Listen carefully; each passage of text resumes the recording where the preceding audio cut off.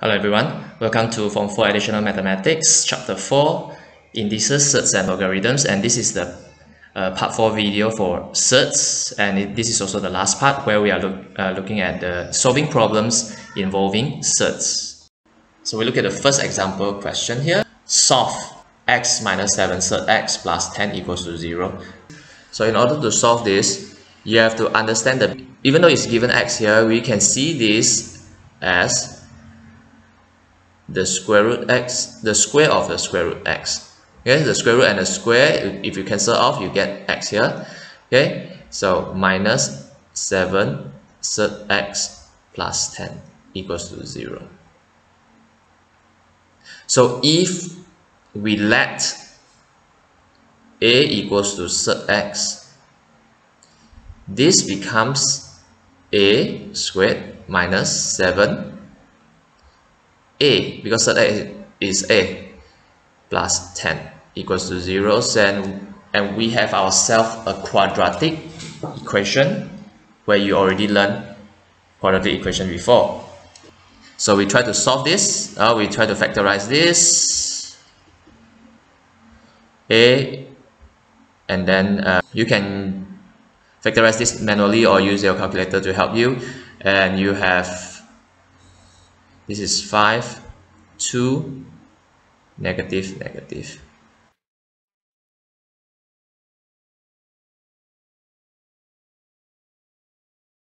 And don't forget a is actually surd x. So surd x equals to 5 or surd x equals to 2 and x equals to when the surd root when the square root you bring it here it becomes squared you get 25 so x 2 to the power of 2 x equals to 4 so the answer is x equals to 25 or x equals to 4 so for this part here if you uh, done a few questions you are familiar with this you don't have to let a equals to surd x. You can straight away rewrite this whole thing into surd x minus 5 surd x minus 2 equals to 0 and then you can further continue from here.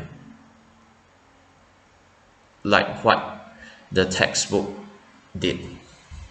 We try more questions?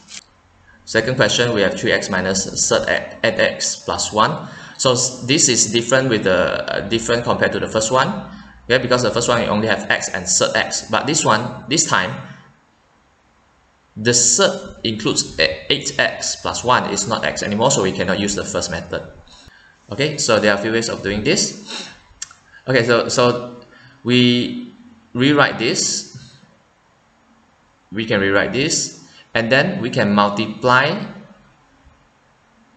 the whole expression with the conjugate.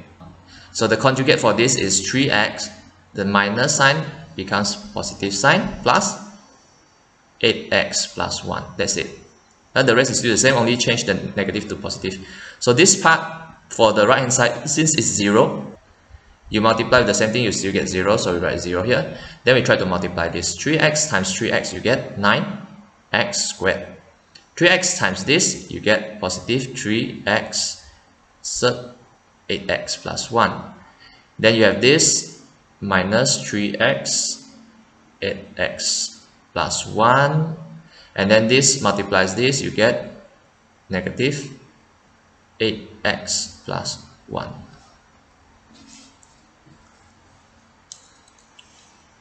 which is equals to 0 so this actually is the same one positive one negative we cancel it. You have 9x squared minus this one minus 8x minus okay because of minus sign here minus 1 so minus 8x minus 1 you can see this is a quadratic equation. We can solve this by factorizing it. So 9x and x here. We have 1 1 and then you have minus and plus plus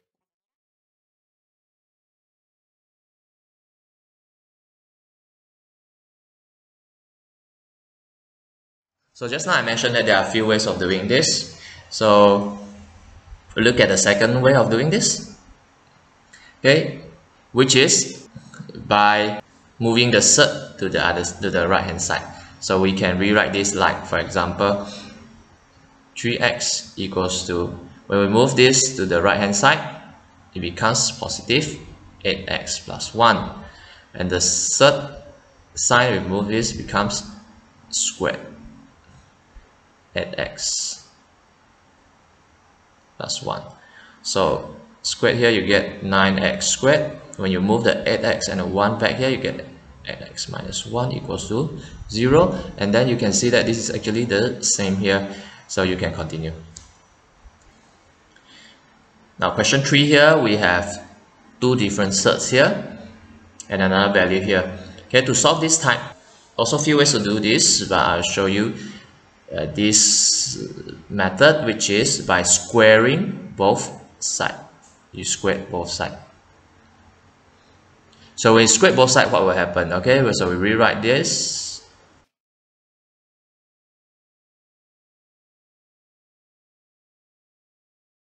This multiplies this you get 2x plus 1 then this multiplies this you get okay 2x plus 1 times 2x minus 1 using the law of surds I can rewrite this in this form. And then this times this becomes 2x minus 1 times 2x plus 1 and then this times this you get plus 2x minus 1 equals to 4 so if we perform the multiplication inside here, okay, so uh, the 2x plus 2x, we have 4x, plus 1 minus 1, gone. And then for this, we perform the multiplication, 2x times 2x, you get 4x squared. 2x times negative 1, you get minus 2x, plus 2x,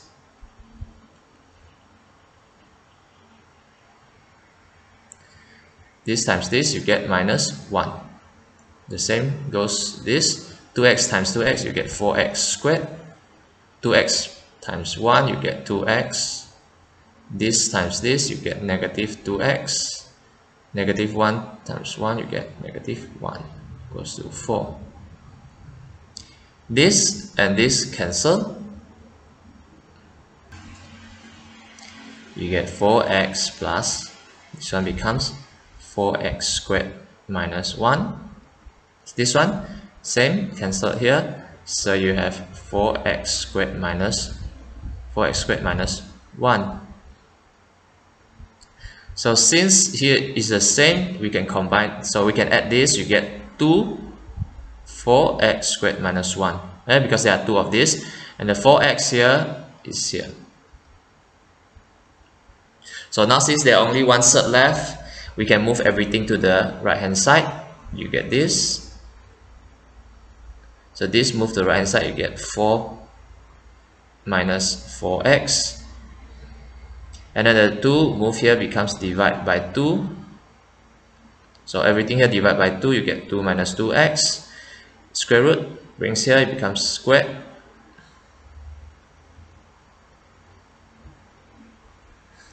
So you have 4x squared minus 1 equals to this is Okay, when you expand this, you get this is 2 minus 2x times 2 minus 2x. So 4x squared minus 1 equals to this. 2 times 2 is 4. 2 times 2, negative 2x is negative 4x. This times this, negative 4x. This times this, you get plus 4x squared. This, you get 4x squared minus 1 equals to 4. This one you have minus 8x plus 4x squared. So I continue at this side. So 4x squared, when you move this here, it becomes 4x squared. When move this here, becomes minus 4x squared. Minus 1 equals to 4 minus 8x. So these two cancel off, you get negative 1 equals to 4 minus 8x. And I think you can solve from here, you get negative 1 minus 4 over negative 8 equals to x. So you have x equals to 5 over 8 as your final answer. So for the fourth question, question number four, diagram shows a right angle triangle ABC. Determine the area of a triangle. So we first we want to try to find the area. The second we try to find the length of AC, given the sides are in the surd form. Okay, so the first one, determine the area of a triangle. So the area of a triangle equals to, uh, using the formula 1 over 2 times the base length, which is this, 5 plus 2 surd 2, height times the height which is 5 minus 2 surd 2 then we just perform the multiplication. Okay so 1 over 2 here. So 5 times 5 you have 25 5 times negative 2 surd 2 you get negative 10 surd 2 positive 2 surd 2 times 5 you get positive 10 surd 2 because 2 times 5 and the last one positive 2 surd 2 times negative 2 surd 2 you get negative 4 2 Negative 10 surd 2 plus 10 surd 2 cancel. 25 minus 4 times 2 is 8. So 25 minus 8 is 17. Hence you have 17 over 2 units or centimeter squared. So B determine the length of AC. This is a right angle triangle. So it's very obvious we need to use Pythagoras theorem. So AC squared equals to the addition of a square of both sides here AB and BC so it's 5 minus 2 squared 2 here squared plus a third sorry so squared then we perform these calculations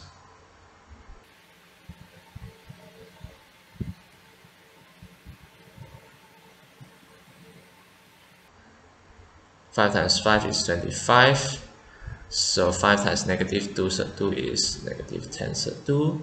This times this, you get negative 10 surd 2. This times this, you get positive 4, 2. Same here. 5 plus 2, you get 10 surd 2. This times this, you get plus 10 surd 2. This times this, you get 4, 2. This and this you cancel this and this we cancel we left 25 minus 4 times 2 is 8 plus 25 plus 4 times 2 is sorry this is a positive here and then plus 8 4 times 2 is 8 so we have 66